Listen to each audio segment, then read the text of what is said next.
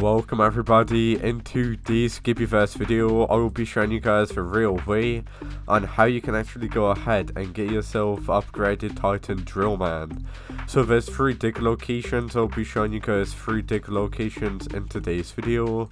So as you can obviously see, here is the first dig location. So here's the first dig location. You guys should know where this is on the map. So you gotta be a drill titan to dig. Um, I do just want to say guys that in order to drill in the ground, you will find gears, screws, and I'm pretty sure there's a small chance of you finding armor under the ground as well. So make sure you go into these dig sites as you can obviously see there's one in Clock Tower as well. And just keep on digging guys, there's a small chance of you getting different types of items by digging. So just make sure you keep on digging in these locations I'm showing you, as you can obviously see. Uh, there's a dig location in the clock tower, and um, there's also another dig location which is in the Golden City, I'm pretty sure. I'm not entirely sure if it's in the Golden City.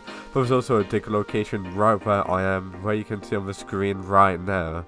So go to this dig location for a small chance of you getting different types of items by digging.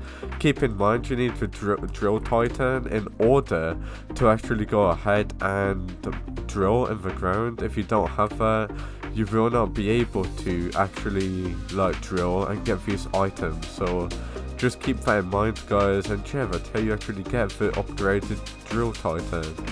If you guys are struggling and finding these uh, dig sites, just make sure you have notifications on. I might be doing another video helping you guys out and getting these locations, but yeah, I'm now going to end the video off here. Thank you guys for watching. Make sure you check the comment section because in the comment section of the video I'm also going to be helping you guys out more. Going to be helping you guys out more on completing this quest. So yeah just make sure you keep your eye in the comment section of the video. But yeah peace out guys